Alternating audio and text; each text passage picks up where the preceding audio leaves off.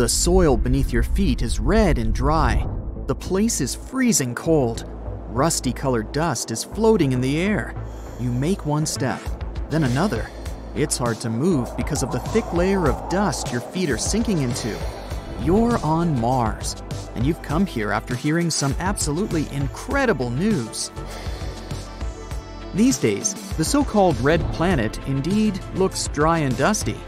But scientists think that this world might have been very different a long, long time ago. They have found some evidence of a huge ocean that could have existed on the surface of Mars about 3.5 billion years ago. And this ocean probably covered hundreds of thousands of square miles. It all started with numerous satellite images of the surface of the red planet. They were snapped at different angles.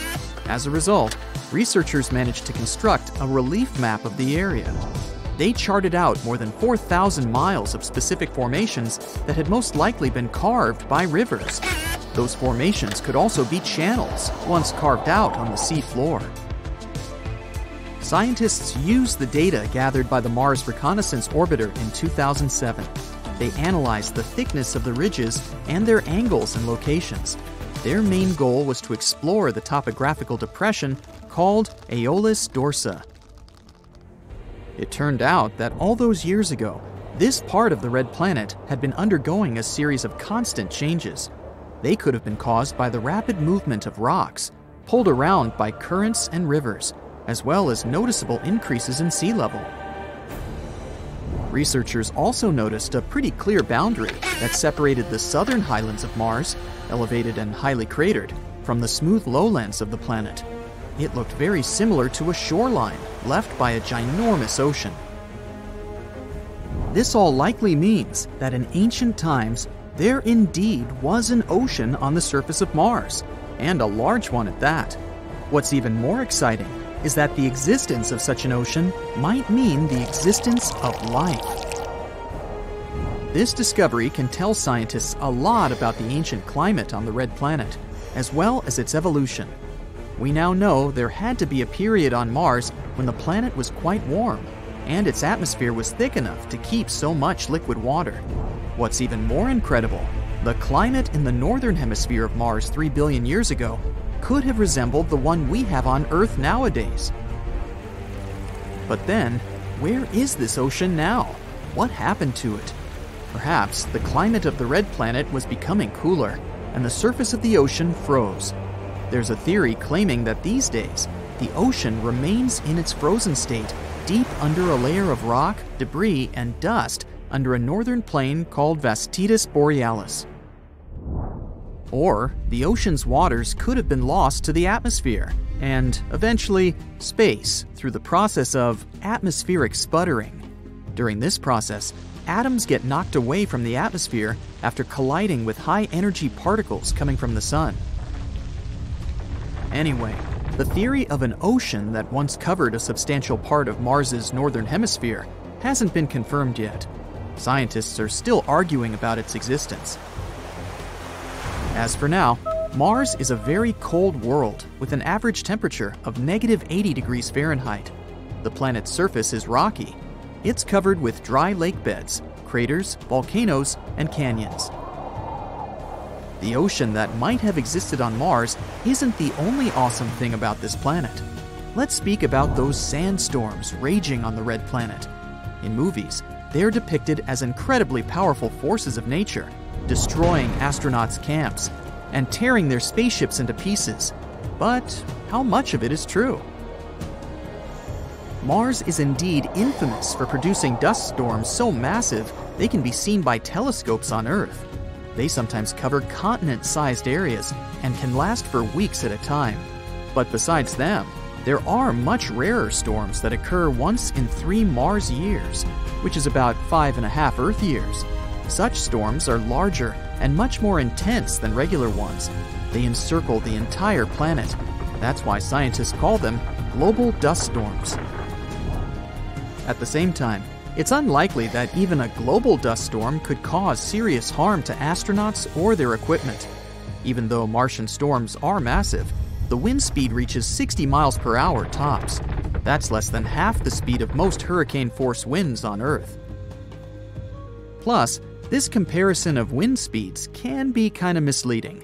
The atmosphere on Mars is just 1% or so as dense as the atmosphere on our planet. It means that the wind there needs to blow much faster to cause any damage, or even fly a kite. Now let's move to the next amazing phenomenon spotted on the red planet.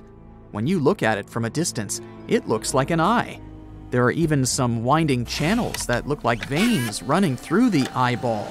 But the closer you get, the less the formation looks like an actual eye.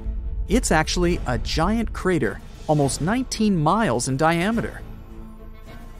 Around the crater, which looks as if it has a pupil, there are other, even bigger craters. They likely formed billions of years ago. That's when Mars had to withstand multiple attacks of space rocks. But why is the eye crater darker than the surrounding landscape? Scientists think that once, water filled the ginormous pit. Remember those channels? They were likely carrying that water. And since the crater was filled with water, it stopped some substances and minerals from eroding away. Your next destination is Valles Marineris. That's an enormous canyon, or rather, a canyon system, that runs along Mars's equator. It stretches for more than 2,500 miles. It's also four times as deep as the famous Grand Canyon on Earth. The thing is so huge, it could span the entire continental United States from the Pacific to the Atlantic Ocean. Most scientists think that Valles Marineris is a huge tectonic crack in the crust of the red planet. It could have formed when the planet was cooling down in the distant past. Another breathtaking sight on Mars is the largest shield volcano in the entire solar system, Olympus Mons. It's more than 370 miles in diameter, which means it's almost the same size as the state of Arizona. The mountain is also 16 miles high and rimmed by incredibly tall cliffs. To imagine the sheer size of the volcano, let's make some comparisons. The largest volcano on Earth is Mauna Loa, around 2.6 miles high and 75 miles across, which actually sounds pretty impressive. But the volume of Olympus Mons is around 100 times larger than that of Mauna Loa. The Martian giant could swallow the whole chain of Hawaiian Islands from Kauai to Hawaii. Scientists have been wondering for quite some time why this volcano is so large. It might be the result of lower surface gravity and higher eruption rates, or the reason may be the red planet's crust, which is very different from Earth's. On our planet, the crust is made up of 15 to 20 moving tectonic plates. As plates move over hotspots that produce lava, new volcanoes form, and the already existing ones become extinct. That's why lava can get to the surface through many vents. But on Mars, the crust isn't broken into the same tectonic plates as on Earth, and the lava has nothing to do but pile in one very, very large volcano.